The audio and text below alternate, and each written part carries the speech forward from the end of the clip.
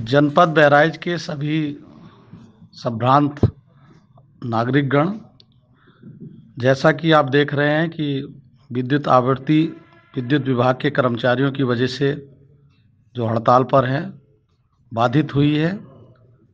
मैं और पुलिस विभाग मिलकर विद्युत विभाग के अधिकारियों से संपर्क में हैं, उनसे बातचीत कर रहे हैं। कि किस प्रकार से विद्युत आपूर्ति को बहाल किया जाए।